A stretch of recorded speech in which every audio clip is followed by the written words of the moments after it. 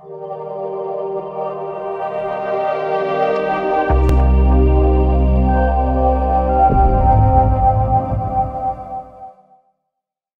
you guys excited?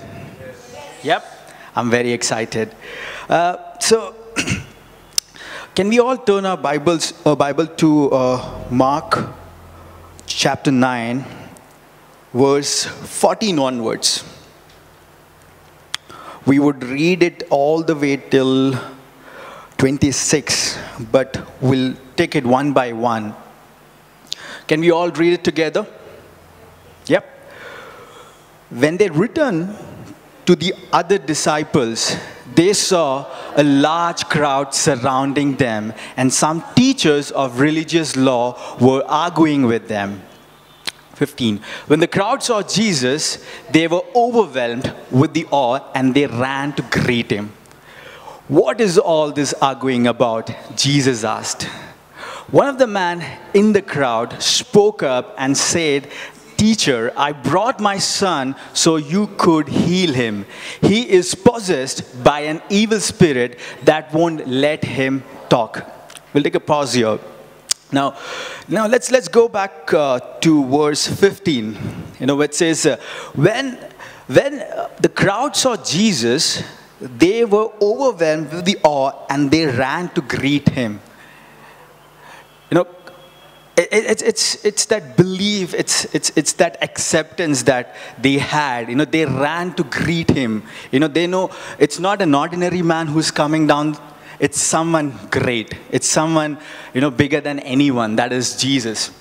Now, just to give you a background, what's happening here, if you, if you, if you read verse 14, it says, when they returned to other disciples, you know, so Jesus is coming from somewhere.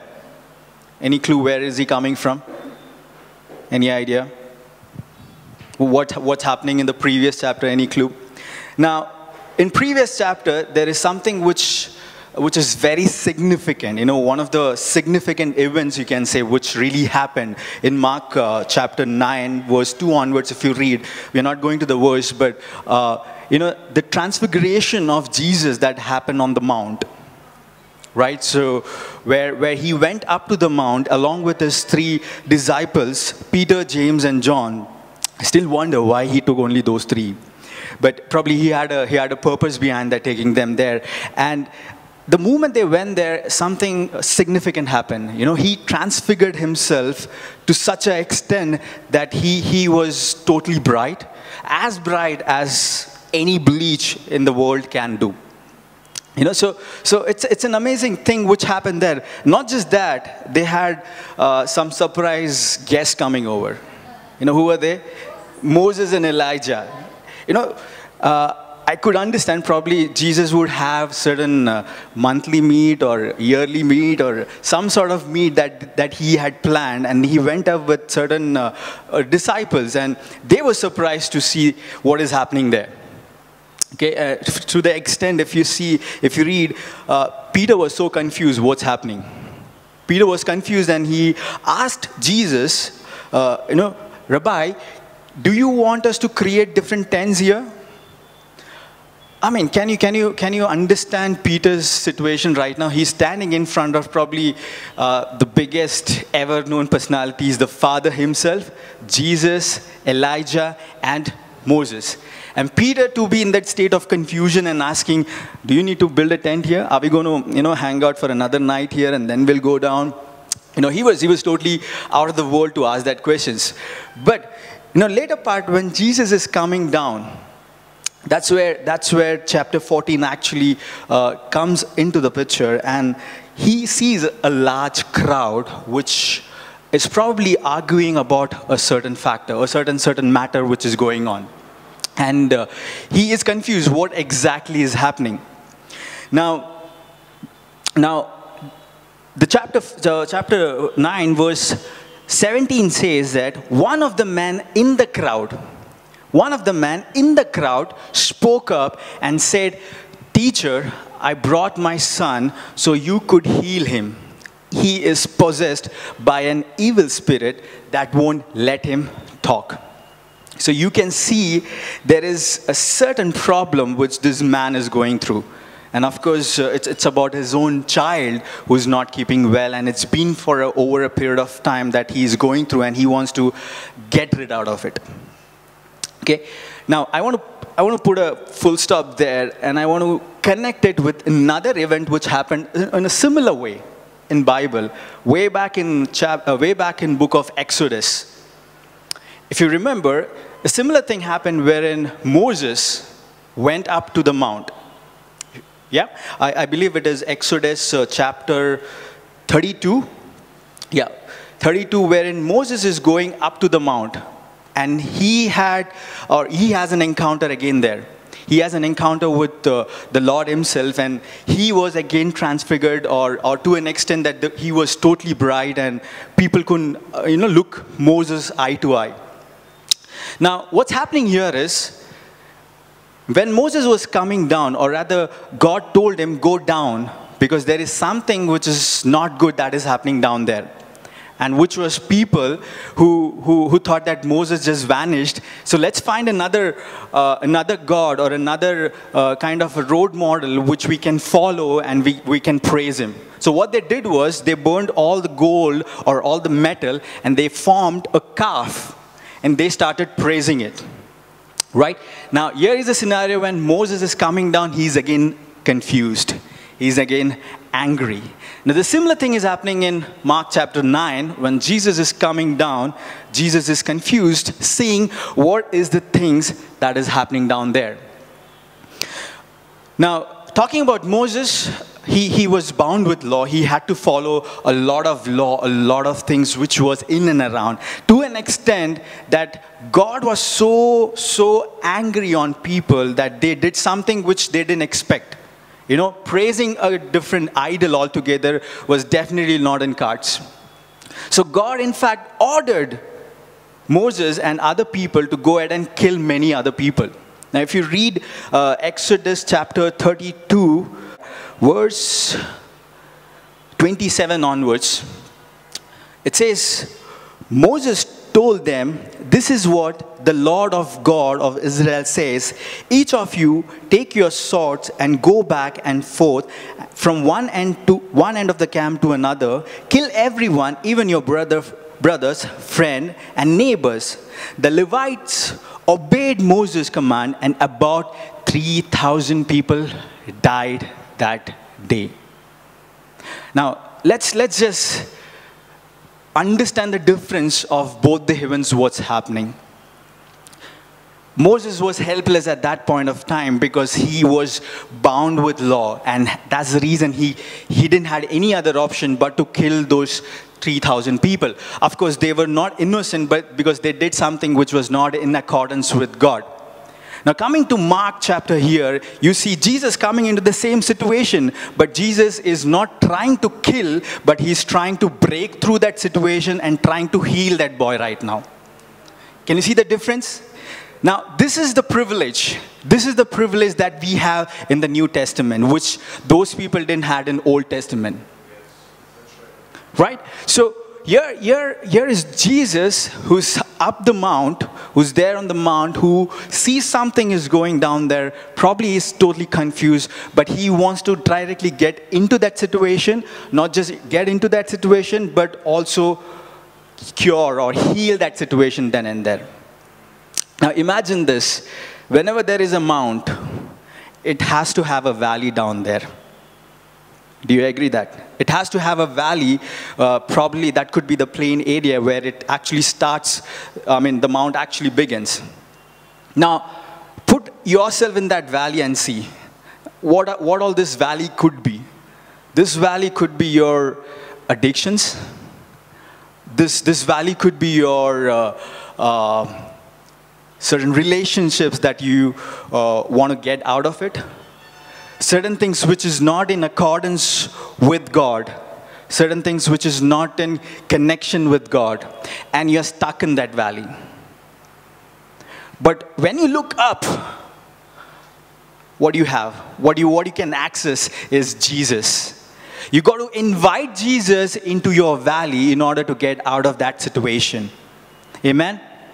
Now, that's what exactly this person who is trying to do, uh, the, the, the father of the child, who, who is totally confused, like, what all options I, I can do, like what the best I can do to cure my, my, my son. Probably, I believe, uh, you know, as we, as, we, as we read that, can we read that again? Uh, Mark chapter 9.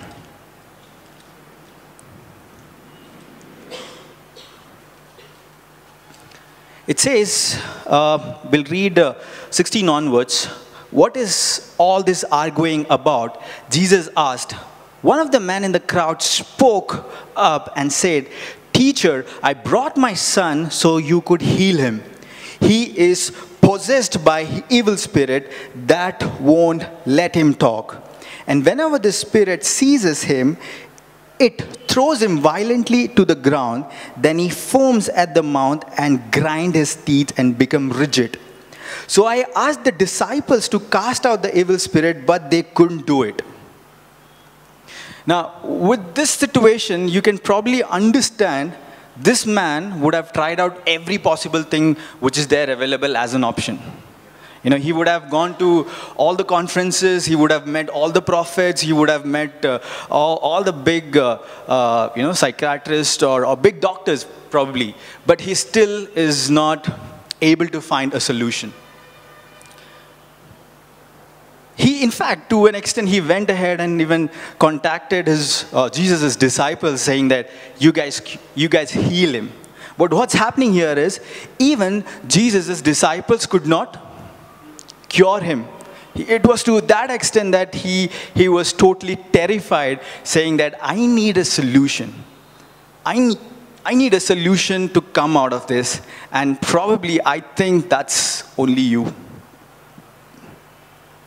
So that's only you when I say that's only Jesus where, where we can actually approach him. So, so my first point which I, which I want to convey out of the whole context is allow Jesus to come and help you. You know, uh, there are a lot of situations wherein uh, we hold on with the problem, uh, saying that we are praying about it, saying that uh, uh, we, we, we are actually uh, giving it to God. Probably you're not doing the right thing you, you would say you were praying about it probably, but you would have spoken this to 10 different people, and for you, that could be your prayer.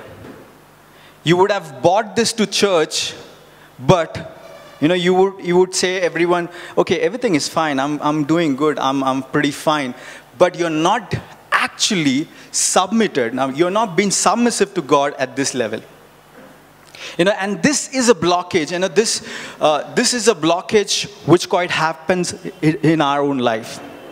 You know, a lot of times when we approach Jesus saying that this is a problem, probably you're not going to God in the right manner. Now, the best thing which this man did was he gave up everything. What all options he had, he tried out everything, but he went ahead with whom? He went to Jesus. And I mean, till this point also, he was not very clear, you know, what is going to happen or how the outcome is actually going to come. Now, if you, if you read the further verse in uh, uh, verse, let's say, yeah, 20, it says, So they bought the boy, but when the evil spirit saw, it threw the child into a violent convulsion and fell to the ground, withering and foaming at the mouth.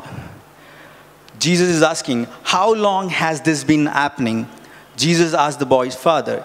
He replied, Since he was a little boy. The Spirit often throws him into the fire or into the water, trying to kill him. Have mercy on us and help us if you can. Now, now here is the audacity of this guy who's asking, Have mercy on us and help us if you can. Like, let me ask you, how many of you uh, have been in a situation wherein you, you would pray saying, God, just get me out of this? Have you done that? You know, I, I probably do it every day when I get stuck uh, uh, at, the, at the Hebbal flyover.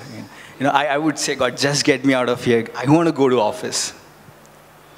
You know, this, this is again something which we don't do it correct.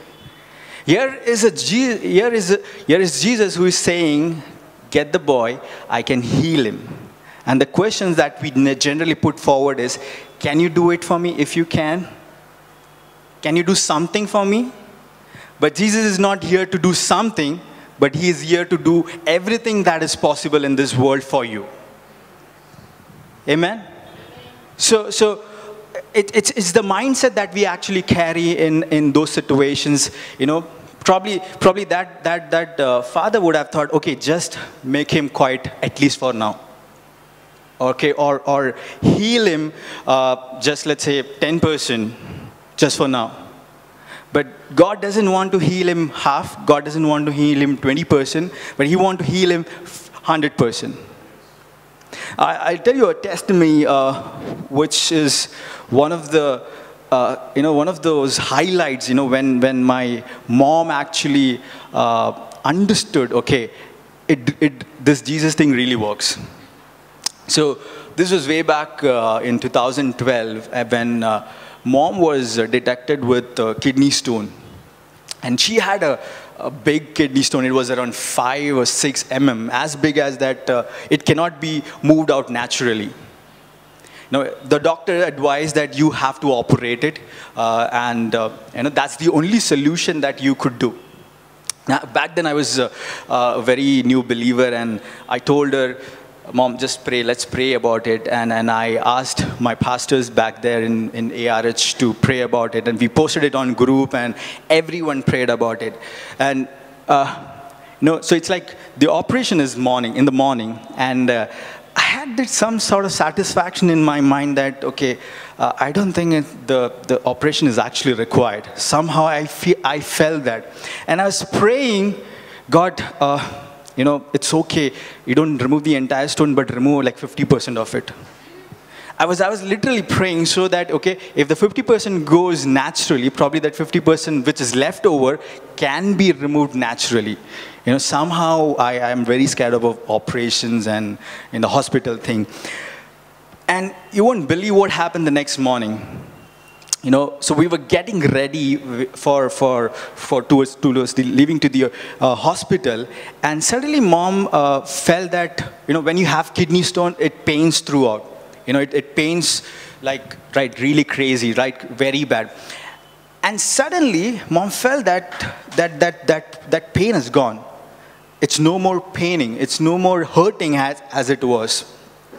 And she had that sense of relief saying that the stone is no longer there. And I didn't, I didn't believe. Okay, I was still thinking, okay, it would be 50% gone. Okay, we can still skip the uh, operation and we don't have to really go through that. Uh, but then, uh, but then mom said, okay, let's let's go ahead and get the thing checked. And we did this sonography and the report which came out said that the entire 5 mm stone or 6 mm stone was totally gone. And this, this was a, a point when I realized like, you know, God doesn't want to heal you probably 50%, but he wants to heal you 100%. Yes. And, and the doctors who had the report was, again, amused. He was saying, how is that possible? How is that possible that such a big stone can go down naturally? It's impossible. You know, so this is, this is our Jesus. This is, this is our Jesus who's saying that I don't want to give you just 50%. I want to give you everything that is possible.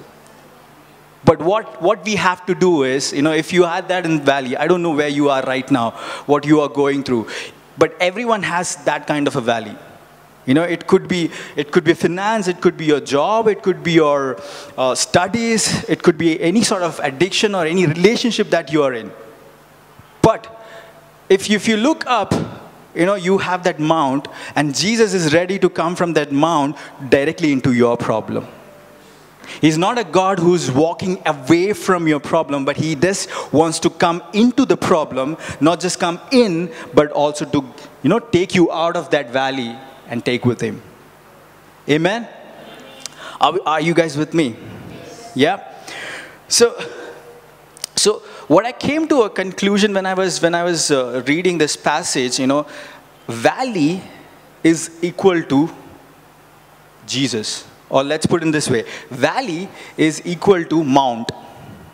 When you have mount there, you know, if, if, if you ever been to a trek, you have to actually go uh, ascend first and come, come, that's how it is, ascending, descending. Ascending is going up, descending is coming down, right? So if you ascend first, you'll have to come down.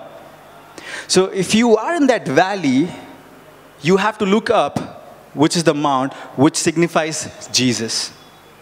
So valley is equal to mount, which is nothing but Jesus for you. So if you have, or if you are in that situation, if you are in that valley, the only thing that you or I can do is to call out Jesus. Amen? Right. Let's, let's move ahead. Wherein, uh, um, let's understand uh, the situation of, of this father again. Now it says, it says, it says in chapter, uh, it says in chapter 21, wherein Jesus is asking, How long has this been happening? Jesus asked the boy father. He replied, Since he was a little boy. Now, what I understand is uh, the child is no longer a child again. You know, he is probably into his teens or he's probably at the start of his 20s. So his father has seen a lot of things in, in, this, in, this, in this past many years. But he never had given that access or never had accepted Jesus or invited Jesus to his problem. Now, if you further go down in verse 24 onwards, okay, let's, let's see 23 first.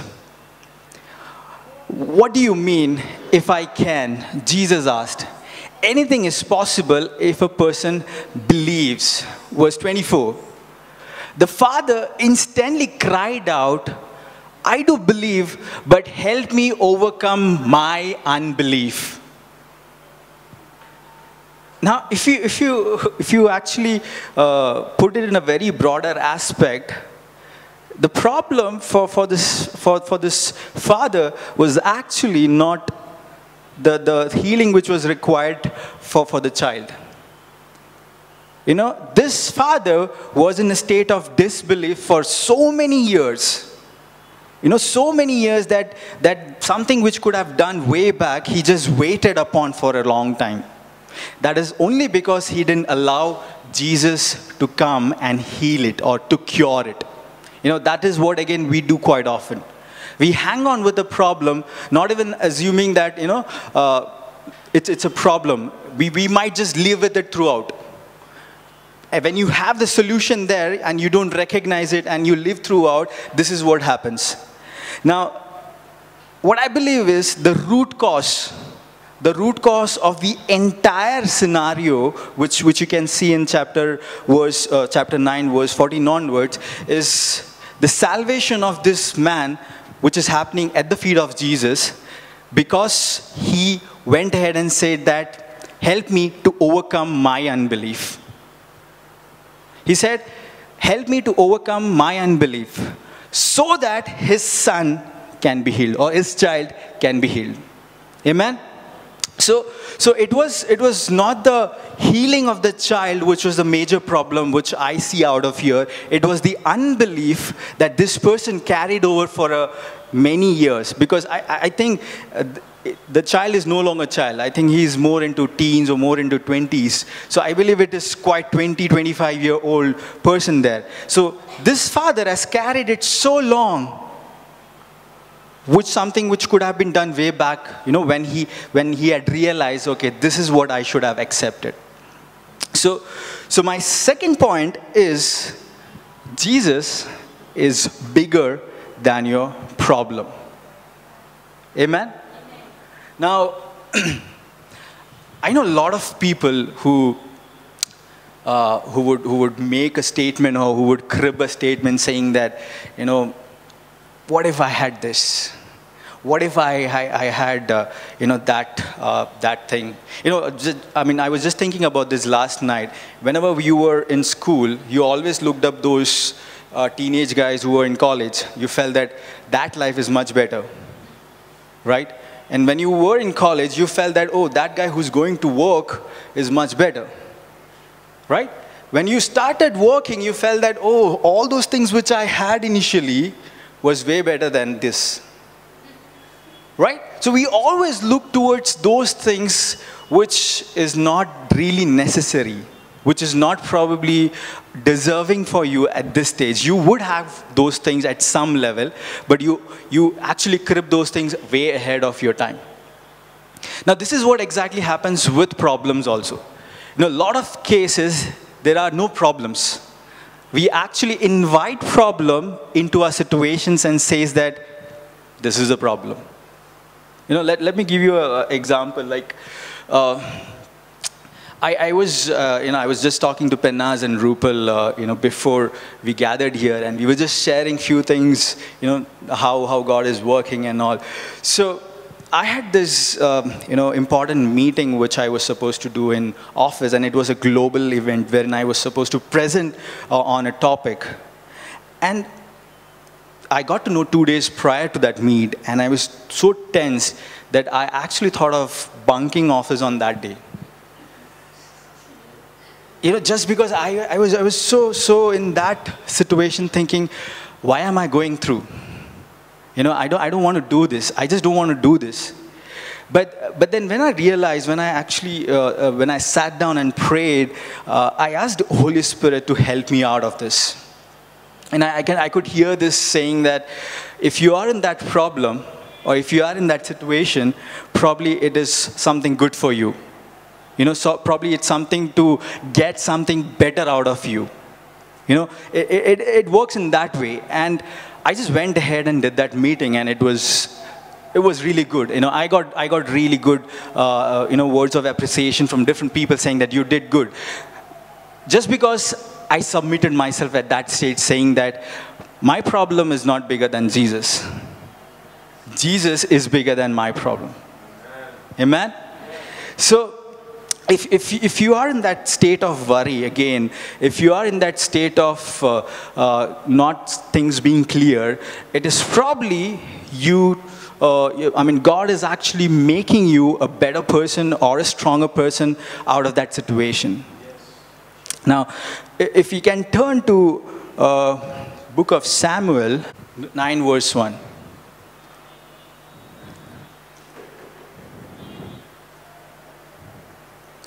Now, if you, if you, if you read this story, this, this part is where Samuel is, is, is at that stage wherein, uh, wherein people of Israel is coming towards him and they are, they are pleading for a king. They want a king, you know, desperately. They want a leader to be there.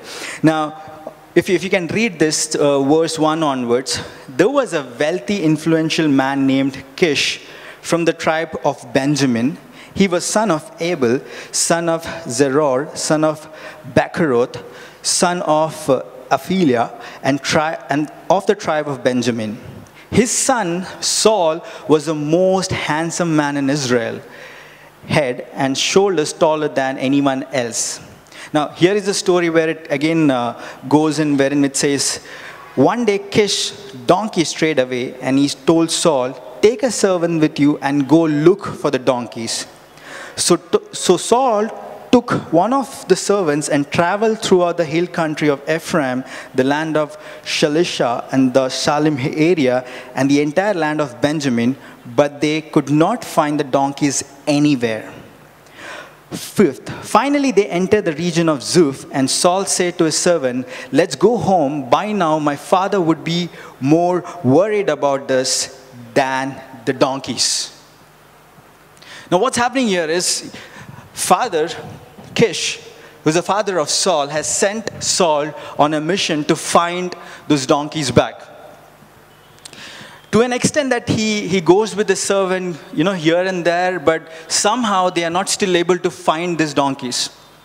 And, and in, in verse uh, uh, 5 it says, Let's go home. By now, my father would be worried about us than about the donkeys.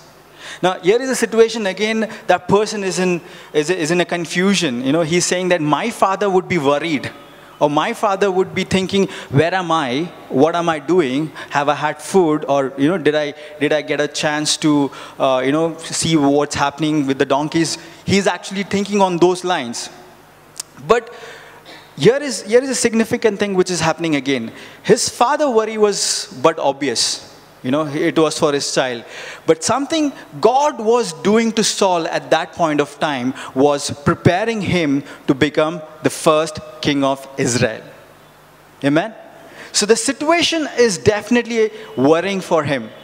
But some, the thing that came out of that situation was something bigger than that situation. Amen? So you had a problem here, but Jesus, or let's put God there, who's trying to get you out of the situation into something which is way bigger than it. Amen? So, so second point which I want to again emphasize is Jesus is greater than your problems. Amen? Are we guys learning anything? Yeah? Let's, let's go back to uh, Mark again and, and understand uh, a few more insight. The root cause. The root cause. Now, this is what, uh, you know, I, I th initially thought of the title of the message, saying root cause analysis. Have you heard about this word? RCA? You know, quite often in corporates we do this. Uh, it's basically to understand what is the core of the problem. You know, so you, source of the problem. You know, you'll pull up a data of the entire month and they'll, they'll put a filters on it and they'll see what is the error which is happening why, because of which, you know, your sales are down or your work is going the other side or your earnings are down. So there has to be a source or there has to be a core problem. And what we try to do out of that is to resolve that problem or to, or to find uh, options or to find ways how we can solve that problem. So here, as a whole chapter, if you read, the core problem was not the problem with that child. The problem was with the father himself. The disbelief that he carried for years and years. You know, just, just the fact that he didn't accepted God at the first place. You know, and that's how we also do it. And that's how we also do it. We would try out every different option, every different opportunities which is available, but would not go to Jesus. Is that, is that correct? You know, sometimes we do that. Sometimes we do that, like, okay, let's try this, let's try this. But you have something there, you know, some, some, some uh, man who known, who known as Jesus, who is saying that, I'm not here to do something for you, but I'm, I'm here to do everything that is possible with me and take you out of that situation. Amen? So, so I would encourage everyone, you know, tonight to have that root cause analysis being done in your own life. Understand where are we I'm pretty sure everyone is, everyone is there in that valley. Is there anyone who's there not in the valley? I mean, valley means problem here. Everyone has some or the other problem or situation that is being stuck with you for years and years. Now, we'll have to analyze it. We'll have to understand the root cause of those problems and surrender those problems to come out of it. Amen? Okay. Now, what happens next? You know, once the root cause analysis was done, you know, father found that it was his disbelief which is stopping him to go towards the next level, that is healing of his own son. He says that, okay, do I do believe, but help me overcome my unbelief. If you, if you read further, it says, when Jesus saw the crowd of onlookers was growing, he rebuked, he rebuked the evil spirit. Listen, you spirit that makes this boy unable to hear and speak. He said, I command you to come out of this child and never enter him again. Then the spirit screamed and threw the boy into another violent convulsion and left him. The boy appeared to be dead and murmur ran through the crowd, people saying he is dead. But Jesus took him by the hand and helped him to his feet, and he stood up. Afterwards, when Jesus was alone in the house with his disciple, they asked him, Why couldn't we cast the evil spirits out? Jesus replied, This kind can be cast out only by prayer. Amen. So the root cause analysis was done, the source was found, it was treated in the right way. That's when you got the result. Amen. You know, that's what we do in corporates. We understand this is the area where I need to work on. This is the area where I need to probably put on more efforts in educating my partners or my employees. And when they work on those things, you find the result when you pull up another report. Right? So, root cause analysis for everyone is definite, is, is, a, is a must, I would say. You know, if you haven't done so far, I would encourage you to do it tonight. Amen? Can we all rise? Let, let us spend this few minutes in prayer asking God, submitting towards God, declaring God that you are bigger. You're bigger than any problem, any valley that, that is there in my life.